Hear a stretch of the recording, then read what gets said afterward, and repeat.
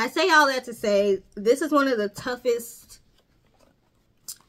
times of my life I'm being tested right now and my old ways of doing things are not going to work going forward. I used to um work very well under pressure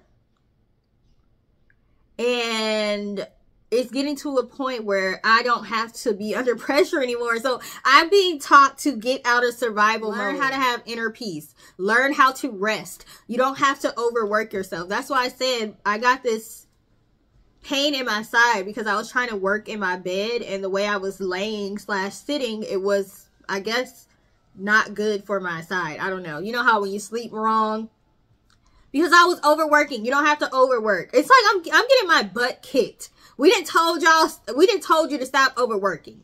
We didn't told you to stop over analyzing stuff. We didn't told you to stop feeling like you got to be 20 steps ahead all the time. You don't need to know the next step all the time. I am being tested. My faith is being tested. Don't ask us, my spirit team, don't ask us to do something for you and you still over here making plan Bs in case we don't come through. How we supposed to feel about that? You don't have faith that we're going to come through? I'm struggling right now with my logic and my spirituality. Because I want to be responsible. I have a son. I need to be responsible. Y'all talking about have faith in y'all. I need to have a backup plan. So I'm being shaken. Everything in my life is being shaken up right now. Like you gonna listen to what we said. You're gonna rest assured. I did a video titled Rest Assured yesterday. You gonna rest assured that what we said was gonna happen is gonna happen. And we're gonna push you until the very last second. And it's gonna take a miracle for some things to happen, but you need to believe in miracles right now. I'm being put in a, in a position where you need to believe in miracles. This is a whole new level of manifestation that I'm going I, like I'm about to be a master alchemist. Something big is about to happen for me. I can feel it. So it's a weird space to be in when you know something big is about to happen and it's just going to take one interaction with somebody, one person seeing a certain post, um one person sharing a certain post. It's going to be something that's going to happen overnight for me. Some miraculous thing is about to happen overnight for me, but I am being pushed in ways that I have not been pushed before mentally. My mental agility is being tested right now, but I'm not going to give up, even though I want to so bad sometimes sometimes I'm like, what is the point of this game of life? It just seems like a game and I'm tired of playing it. Sometimes I feel that way.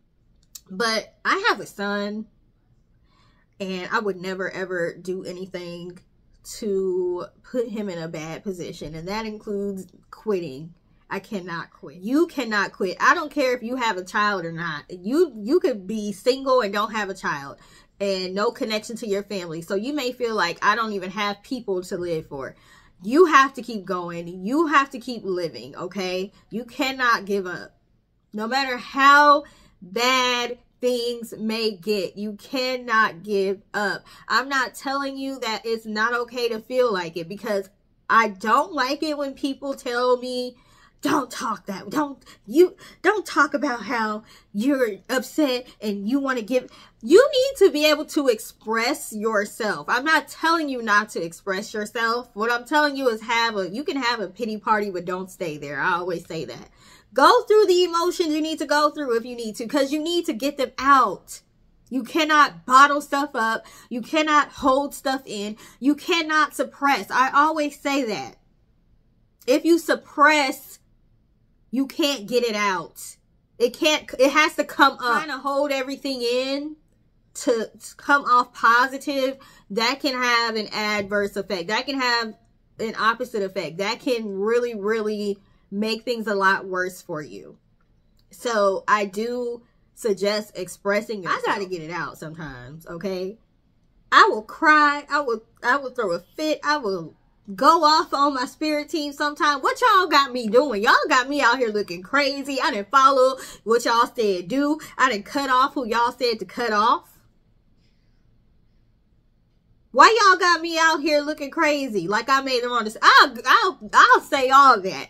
And after I throw my little fit, it's like I'm a new person again. I pick myself up. I feel better because I feel like my sinuses are better because I've cried and got it all out and I move on to the next thing.